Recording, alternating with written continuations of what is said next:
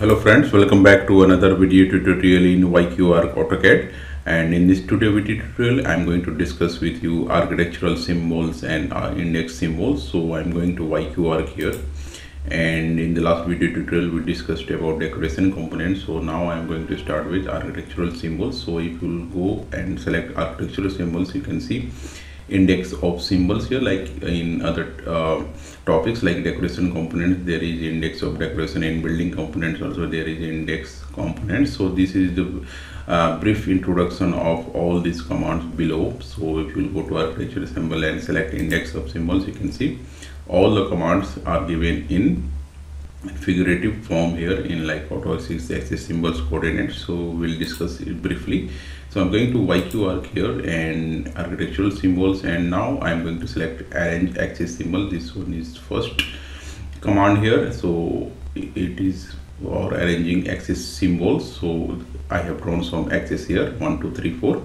And i'm going to arrange axis symbols. So now i'm going to select this. Now it is asking select object. So i'm going to select first object and now i'm going to select second third fourth and fifth.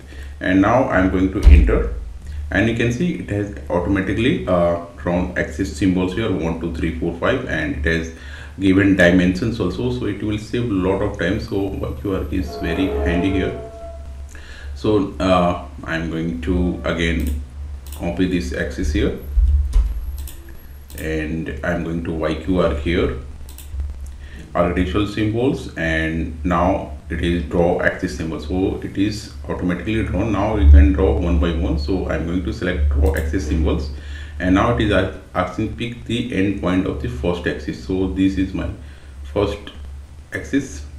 And i'm going to select this. Now it is asking start axis number one two three four a b c. So whatever number you want to start with you can uh, write it here. So i'm going to start with uh, a enter and you can see this is the a and now it is asking pick the end point of the second axis. So i'm going to select the second axis and enter the next axis number. So i'm going to enter b here and i'm going to enter and you can see it has automatically uh, drawn the uh, symbol here and it has given dimensions also.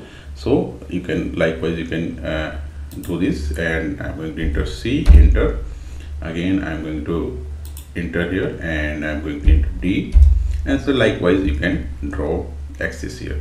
So it will save a lot of time. So I'm going to architectural symbols. And now it is geodesic coordinates. So you can draw geodesic coordinates also. It is asking pick point of or so I'm going to pick one point here. And you can uh, pick the symbol location. So I'm going to select click here. So you can see this is the geodesic uh, symbol so likewise uh, you can utilize in your projects. This is designed elevation.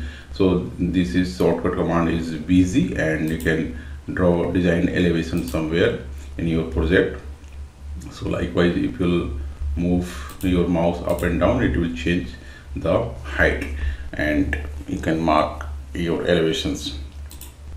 Next is contour elevation so you can mark your contour elevation also. Suppose if you are drawing any contour line and if you want to mark your contour you can select uh, so i am going to select any contour line here.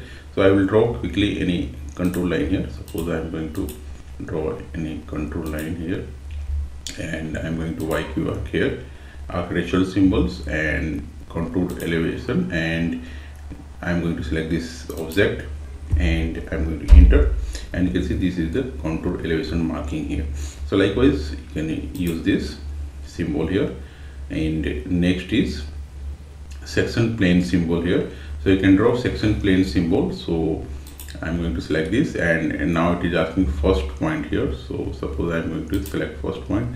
And now i'm going to enter second point here. And you can select the next point and you can see you can enter and likewise you can draw section uh, plane here. You can see this is the section plane line. You can draw this section here. You can see this one is section and you can use this for your project. And and this one is section symbol this one was section plane symbol this one is section symbol. So this is almost similar. So I'm going to architectural symbol and this one is section symbol. So I'm going to first point select first point. Now I'm going to select second point and now I'm going to select the direction point here and you can see this is the section symbol is drawn here. So one one so likewise there are some uh, useful architectural symbols. So this one is slope symbol. So i'm going to select this. Now it is asking the arrow point. So my arrow is like this. And you can select the next point. So i'm going to select in this direction. And now it is asking height mode decimal. So i'm going to simply enter. And you can see this is the slope symbol here and you can see is 1.00 percent. So likewise you can use these symbols and you can make your detailed drawing. This one is disconnection line. So in AutoCAD it takes some few minutes to draw this disconnection line but in this YQ Arch you can draw in seconds. So I'm going to select on disconnection line and it is asking start point. So I'm going to start from here and now I'm going to give my second point here and you can see this break line is drawn here so you can call it as a disconnection line. And you can draw in seconds so using YQ Arch so I'm going to the next symbol here. This one is uh, pipe cutting symbol. So if you have drawn any pipe here so suppose I am going to draw a symbol here like a pipe and I'm going to YQ Arch architectural symbols and can use this pipe cutting symbol and now it is asking first line. So I'm going to draw this first line and now I'm going to enter my second point here and I'm going to enter. And can see this uh, pipe cutting symbol is drawn here. So I'm going to add architectural symbols and this one is for symmetry axis. You can draw symmetry axis. It is a start point and the second point and you can draw the symmetry axis. And next is the central line. So we can use central line. I'm going to start point here. And now this is my second point and now this is my next point.